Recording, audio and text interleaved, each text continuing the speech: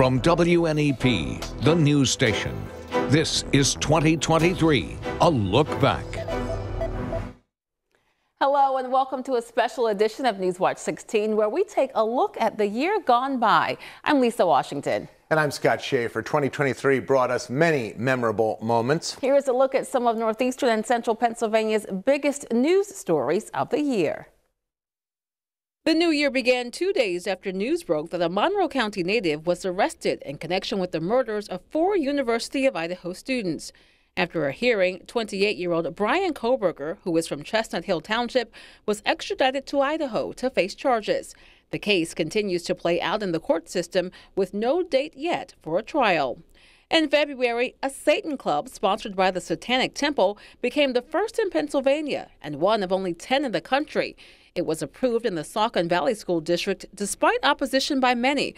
After initially rejecting the request for the club, the Saucon Valley School District was forced to allow the organization to hold its meetings on school property. After years with no suspects or knowledge of the whereabouts of his remains, police solved a six year old cold case in March, finding the remains of Robert Barron. They were discovered near Pagnotti Park in Lackawanna County, not far from the restaurant the Old Forge businessman owned. 37 year old Justin Schubeck of Old Forge was arrested and charged with Barron's murder. In April, PPL said it was working to regain the trust of customers after months of billing issues, initially saying the spikes in customers' electric bills was likely due to higher energy prices. We later learned the problem was the result of a technical glitch. Questions about the billing sparked an investigation by the Public Utility Commission. As of November, the Commission is considering a settlement to resolve the billing problems. Summer brought warmer weather and lots of rain to northeastern and central PA. Rain was often a problem as it created what became known as Lake Commerce in Dickson City. A plan to address recurring drainage problems in the area of Commerce Boulevard was unveiled. Work began on a new drainage system, eventually bringing Lake Commerce to an end. Often, when it wasn't raining during summer, wildfire smoke blanketed parts of northeastern and central Pennsylvania. In June and July, Canadian wildfires were responsible for poor air quality, levels not seen before in our area. The extreme conditions affected both people and businesses, forcing some to return to wearing masks and those with severe respiratory issues to stay inside. A new school year began in August for students in northeastern and central PA, only to be disrupted for many districts because of threats. Districts in Lackawanna, Luzerne, Wyoming, and other counties became the targets of numerous threats, causing inconveniences for students, their parents, and school staff. This year also saw the passing of one of Pennsylvania's former First Ladies, Ellen Casey. The mother of eight and widow of Governor Robert Casey passed in August. Friends, family, even President Joe Biden remembered the former First Lady. September had several breaking stories. Heavy rains caused flash flooding in Luzerne and Lackawanna counties, killing at least one person, destroying homes, washing out roadways, canceling the Luzerne County Fair, and creating headaches for many home and business owners. Not many people knew there was a mink farm in central Pennsylvania until September, when thousands of the small furry animals were released from the farm near Sunbury. Investigators believe someone intentionally freed the minks that were roaming around central PA. Also in September, history repeated itself when a massive 100 foot sinkhole opened behind an apartment community in Luzerne County, 40 years after it first opened. About 20 residents were forced to leave their homes as the giant hole in Glen Lyon continued to grow. DEP crews worked over several days to backfill that mine subsidence with limestone from a nearby quarry. Other big stories around the state this year include the tragedy just across the state line in East Palestine, Ohio. In February, evacuations were ordered after a Norfolk Southern train carrying hazardous materials derailed. In all, 38 train cars derailed. People in nearby communities in both Pennsylvania and Ohio worried about returning to their homes. Convicted killer Danilo Cavalcante escaped from the Chester County prison back in August, eluding police for nearly two weeks before he was caught. In March, seven people were killed in an explosion at a chocolate factory in Reading. The R.M. Palmer factory was leveled.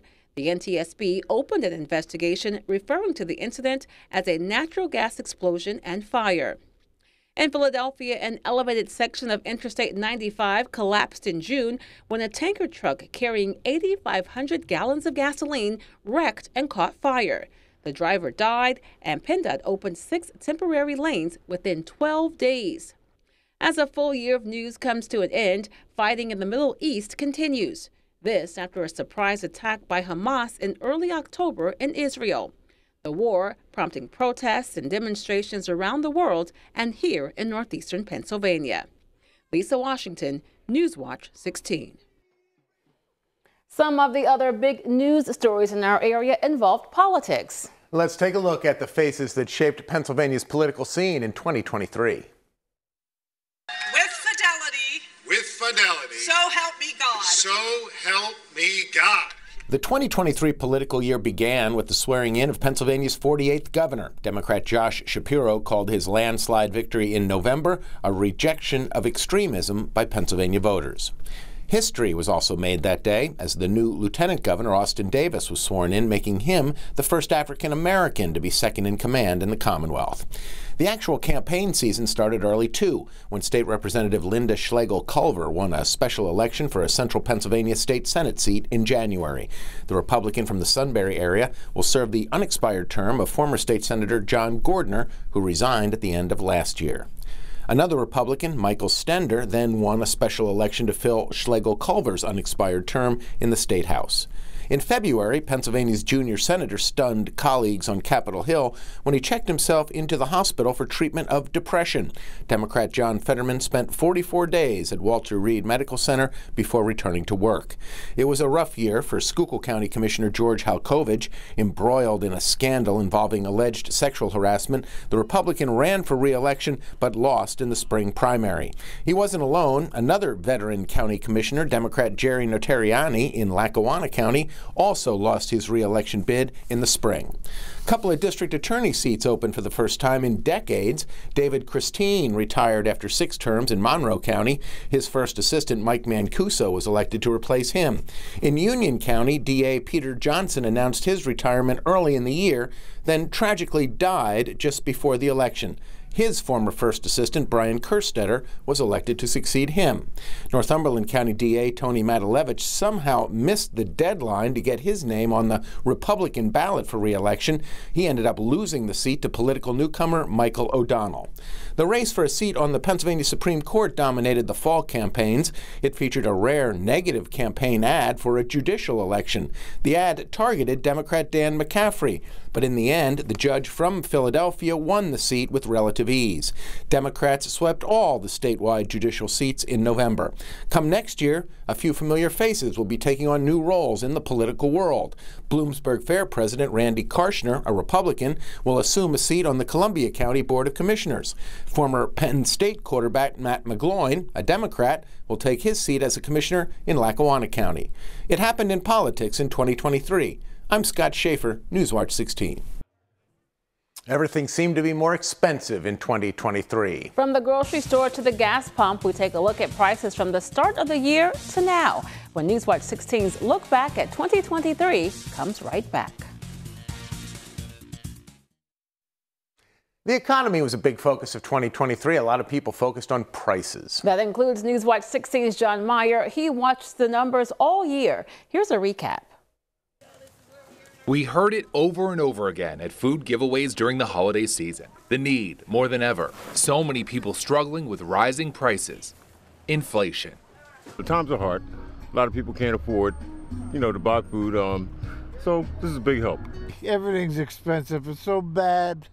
So the economic story of inflation in 2023 is that it's been going down, and it has. We had a peak of last year at around 9% inflation of prices going up. That has steadily declined and leveled off a bit towards the end of the year. So why is inflation such a big story if it's going down? Well, prices aren't going down. Let's take a look at how inflation works. So in fall of 2020, say your monthly expenses were around $4,000. Well, inflation of 7% brought that up to 4,200 a month. Then the next year, inflation's another 7%. So you're building on top of this number to $4,500 a month. This year, inflation's lower, but prices still went up to $4,700. You see it at the grocery store. Say you bought ground beef four years ago for four something.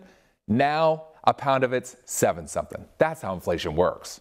Food prices have been one thing that has kept going up. One of the places people notice inflation the most.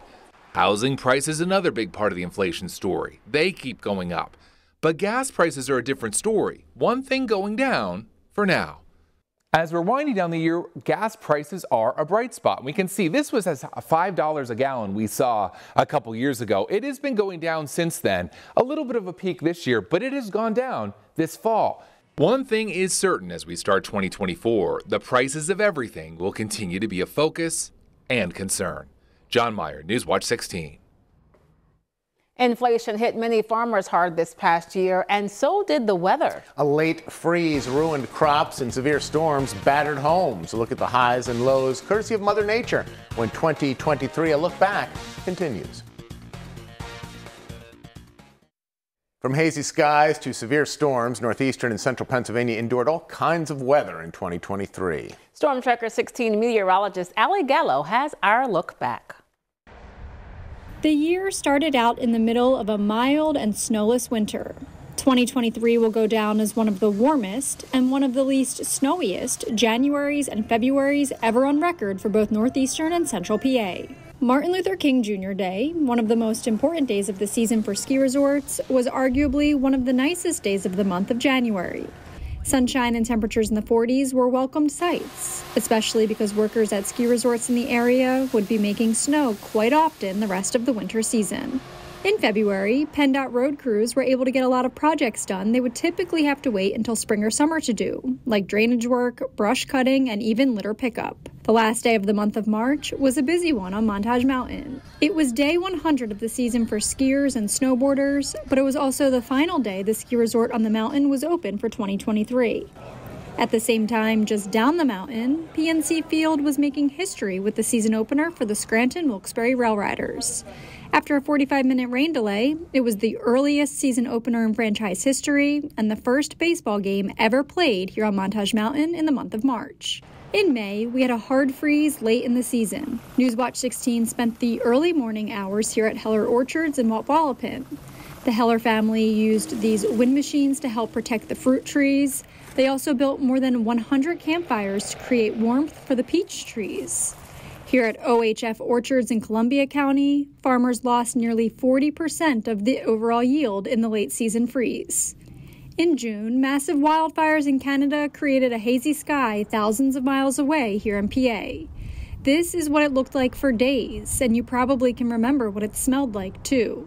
People we talked with described it as something out of a horror film. We did see a hazy sky several other times the rest of the summer and into the fall, but the air quality never got quite as bad as it did that first week of June. On 4th of July weekend, severe storms hit northeastern and central PA, and the National Weather Service later confirmed there were three tornadoes one in Union County in the Lewisburg area, one in Exchange in Montour County, and one in Dickson City in Lackawanna County. On Saturday, September 9th, heavy rain from severe storms prompted several flash flood warnings in northeastern PA, including in the Back Mountain area in Luzerne County and the Clarks Summit and Scranton areas in Lackawanna County. PennDOT officials reported more than 20 roads in Lackawanna, Luzerne, and Wyoming counties were closed due to flooding and damage. Several homes and businesses struggled with major loss and damage too. Officials of the 61st annual Luzerne County Fair were forced to shut down festivities, and they estimate it will cost at least $500,000 to restore infrastructure at the fairgrounds near Dallas. Dozens of people were trapped in their cars on Northern Boulevard in South Abington Township that night, and for days we heard countless rescue stories. Two people died as a result of the flash flooding. In October, we had warm, sunny weeks and wet weekends. In fact, it rained every weekend in October, and almost all of the measurable rain we received all October long fell either on a Friday, Saturday, or Sunday. On Thursday, December 7th, our annual snow thrower contest came to an end when the first inch of snow fell in the WNEP backyard. Exactly one inch fell with that early morning snowfall, but it melted away pretty quickly with a big warm up later that weekend. Now we wait and see what the rest of this El Nino winter has in store for us for 2024. Ali Gallo, Newswatch 16. Area athletes showed up in 2023, and WNEP was on hand for all the big moments. The state titles, the upsets, and the legacies left behind when our look back at 2023 returns.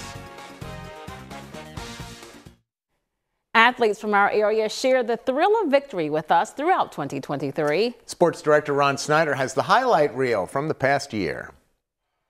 Our local teams took home some hardware in 2023. In March, the Dunmore Lady Bucks captured the first state championship in school history, defeating a team from the Pittsburgh area. In softball, Northeast and Central Pennsylvania, their squads captured three state titles. In single A, Tri Valley got it done. In 3A, Villanova recruit Miranda Runco capped off her high school career with a two hit shutout, leading Mid Valley to a state title. And in 4A, it was Blue Mountain hoisting the state title trophy in State College. Speaking of Happy Valley, Penn State football started off hot in 2023. A Rose Bowl win in January was followed by six straight wins to start off the regular season, but losses to Ohio State and Michigan cost the Nittany Lions a shot at the college football playoffs.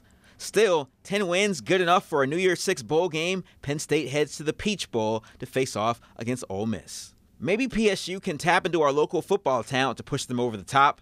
There's plenty of athletes at Southern Columbia. The Tigers took home their seventh straight state title, going 99 yards on the final drive of the game for the game winning touchdown. We'll have to send some love to the Dallas Mountaineers as well. They took out powerhouse Bishop McDevitt en route to a state championship game appearance.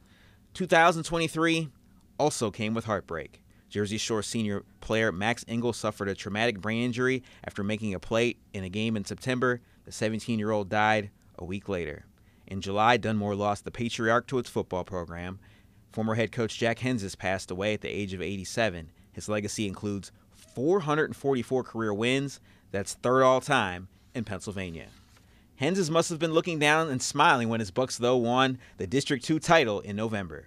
For Newswatch 16 Sports, I'm Ron Snyder. Thanks to you, Mike Stevens shares the beauty of our area every week. He takes a look back at some of the best in just a moment. Turn around and the year is gone, but not before we take a second look at some moments we enjoyed in the PhotoLink Library. See you later. As the year comes to an end, Mike Stevens wanted to say so long to it. Here's the story of the year as seen through the windows of the PhotoLink Library. The seasons, like the year, come and go. The white and colorless winter. Spring with its offering of new life, coupled with vibrant colors to signal that it's here. Summer, of course, a time not to be denied for its quiet, warm afternoons and pleasant starlit nights. And autumn. We can hardly bear to watch it, for we know what comes next. But we do. We must enjoy the colors splashed across the mountains nearby, the crisp, clear air that has a chill in it, but not much of a chill, just a touch. When you think about it, autumn is kind of a cap on the year. Sure, we'll have a bit of winter before the real thing comes in, but it likely won't be much to speak of. It seldom is. So when you stand by a window and watch the winter winds blow outside, remember that spring is not really that far away. You remember spring, the time when you do all that cleanup of the gifts winter so graciously left behind. There's always a hundred things to do, but in the end, it's worth it. Summer comes along, and while it has its own set of chores, it also carries with it a quiet beauty. Spring may have returned us to life after the cold dullness of winter, but summer allows us to live it. So, dear viewer, welcome the new year while you think of spring and what it will offer. Then summer, with its deep warmth and with a glorious, lovely autumn as a cap. Then a long winter's rest. All things considered, 2024 doesn't look too bad. Mike Stevens here in the PhotoLink Library. Thank you for joining us for this look back at 2023. We look forward to telling your stories in 2024. Now, for everyone here at Newswatch 16, have a great night and a happy new year.